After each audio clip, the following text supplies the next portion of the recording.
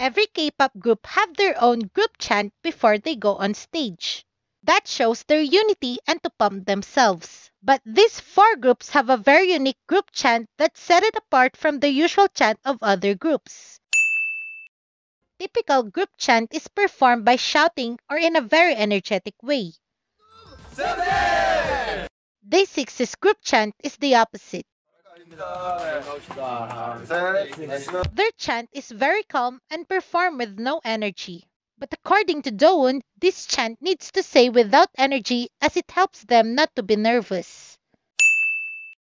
While Day 6's group chant have no energy, Blackpink's group chant is in the middle, not to cheer up and not to cheer down. Which suits their combination of cute and chic image. Typical group chant is performed in circle with their hands together. But NCT Dream is very different as they perform their group chant in a very energetic way and instead of putting their hands up or down, they did a freestyle dance instead.